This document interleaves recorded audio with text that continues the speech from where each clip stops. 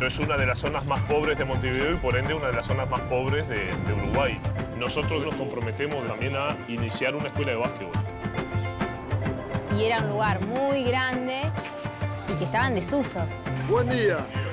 Pasamos corriendo, dale. Hola, soy Carlos Delfino, jugador de básquet, y los invito a vivir el otro sueño. El otro sueño NBA. Nuevo episodio. Domingo on DirecTV.